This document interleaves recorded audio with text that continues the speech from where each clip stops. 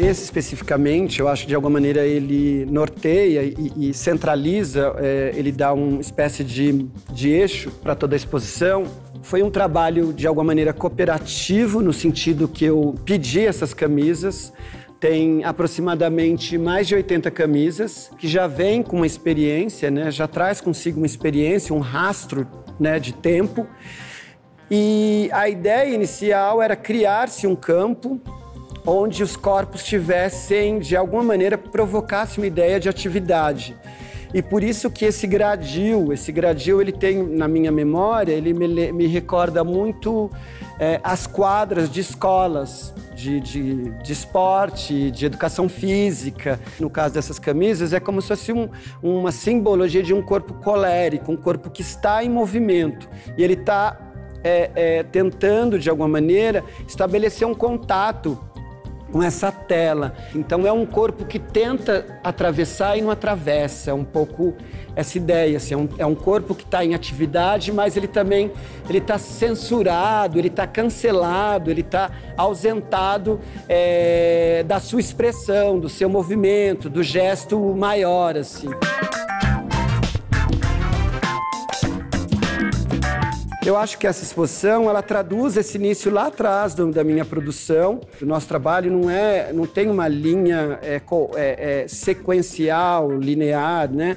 Ela tem esses, esses encontros de tempos. Então, ora o, o que está lá para trás volta a acontecer na produção de hoje. E eu comecei inicialmente a ficar atento aos objetos em torno do corpo, que eram que era onde eu sento, a poltrona, a cadeira é, a xícara que você segura, esses elementos mais recorrentes do cotidiano, começou a me permear e eu comecei a entender o corpo como uma espécie de corpo ímã que atraía algumas coisas e repulsava outras coisas.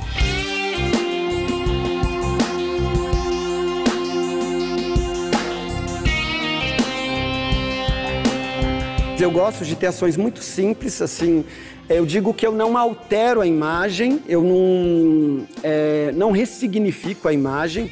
No caso do Mondrian, eu, a, a janela da imagem, eu recorto áreas dessa janela e coloco essa janela para dentro. Então, o que a gente é, teria como neutralidade na imagem, a sustentação, a aura da imagem, ela começa a criar uma dinâmica também de discurso mesmo nesse caso, quando eu aqui uh, nessa outra imagem tem essa figura, uh, esse nu feminino por trás, e eu venho com uma fita adesiva e quando eu arranco parte da estrutura da imagem, dessa impressão da imagem, também eu revelo de novo um contraponto do próprio suporte da imagem. Então, de novo, a discussão do todo da imagem passa a entrar, né, por esse córrego que eu vou construindo entrar na própria imagem. Então, essas, essas duas imagens juntas, é elas se contrapõem e discutem tanto a porosidade e a superfície, quanto a, a, a, a tridimensionalidade da imagem, assim.